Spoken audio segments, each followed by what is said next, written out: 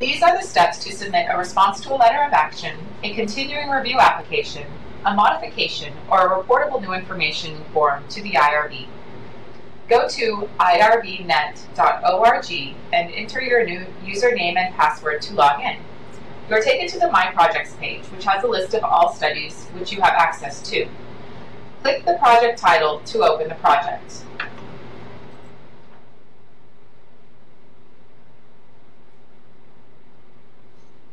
Click Project History. Click Create New Package.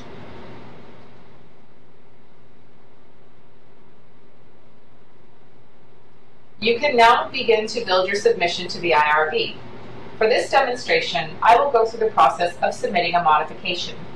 Anytime you modify a research project, you must submit a modification form along with marked and clean versions of any study documents which are being changed.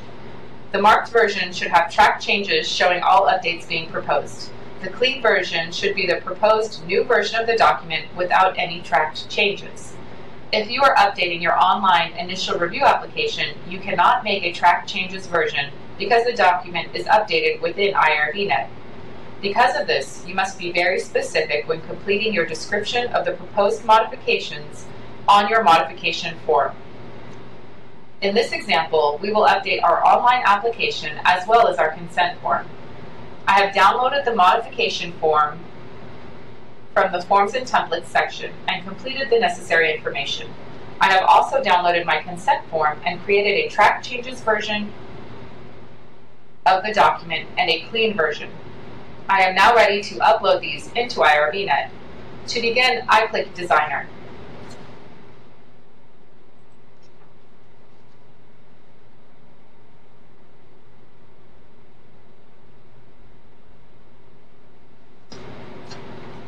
I scroll to the bottom of the page. Here are a list of documents which have previously been submitted to the IRB.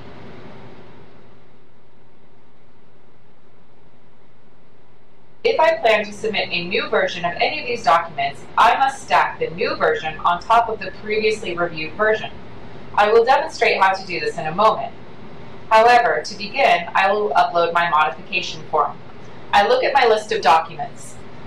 I see that no modification form has previously been submitted to the IRB, so I select Add New Document. I use the document type description guide to select the appropriate document type. I type a description of the document being uploaded. I click Browse and locate the file on my computer.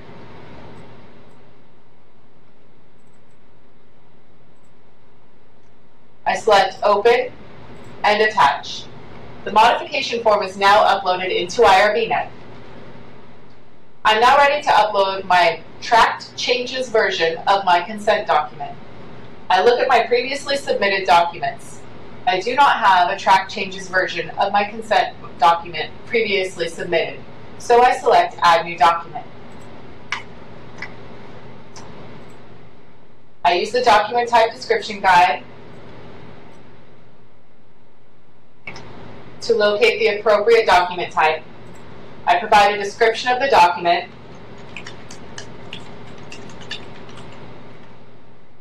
Click Browse to locate the document on my computer. Open and attach. I've now uploaded my modification form and my marked consent form into IRBNet. I'm now ready to upload my clean consent form. I look at my previously reviewed documents. I find a previously reviewed consent form in the list of study documents. I click the pencil icon to update this document. I click Browse to locate my new version of the Clean Consent Form. I click Open. If necessary, I update the description field. In this case, the document has a version date, so I am removing that information. I now click Update. I've now stacked my new clean consent form on top of my previously reviewed consent form. I can click the stack of papers icon to see the different versions of my document. Here is the consent form I've just uploaded. Here's the consent form that was previously reviewed. This allows me to easily identify current versions of each of my documents while maintaining the records of previously reviewed documents. I'm now ready to update my online initial review application. As I mentioned before, this document is housed electronically within IRBNet, so all edits will be done within the system. To do that, I click the pencil icon next to the document description.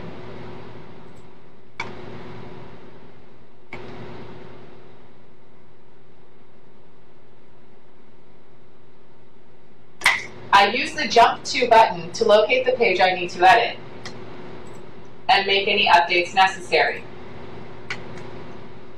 Then I click Save and Exit.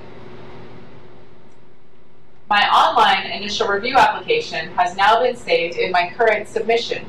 I can click the stack of papers icon to view the versions of the document. Once all of my documents have been uploaded into IRBNet, I can collect the principal investigator's signature by asking them to use the Sign This Package feature. The PI will select from the drop-down their role and click Sign. The system will ask them to validate their login information.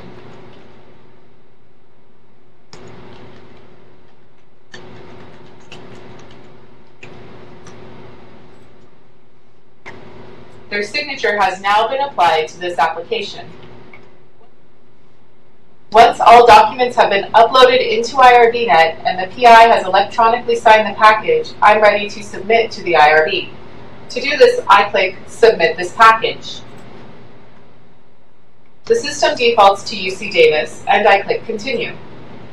I select the submission type, in this case it's a modification. Provide any comments the IRB would need to review the study, and click Submit. Once submitted to the IRB, they will be in contact with me about next steps.